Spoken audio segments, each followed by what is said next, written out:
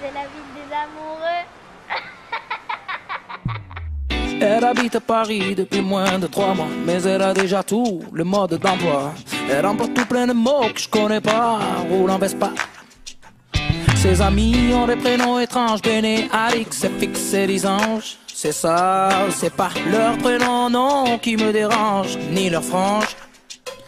Elle me dit tout le temps qu'il faut qu'on se capte et qu'on brunch ensemble de ces quatre. Qu'on se mate une expo au 104, Larry Clark. Pourquoi pas? Mais pas demain, car madame est surbooké, toujours bloquée sur son MacBook. Et quand elle me dit qu'on peut se croiser sur Facebook, c'est le bouquet. Elle habite Paris, elle a des converses blanches. Je comprends plus ce qu'elle dit. Elle habite Paris pourvu que rien ne change.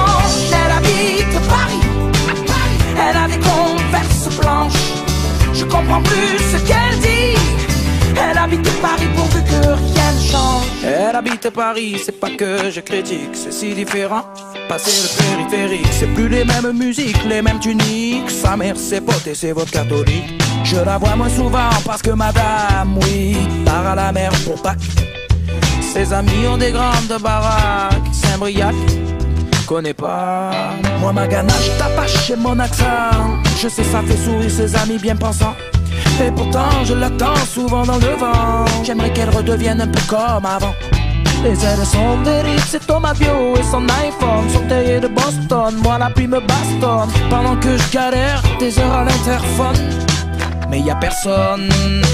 Elle habite Paris. Elle a des converses blanches. Je comprends plus ce qu'elle dit. Elle habite Paris pourvu que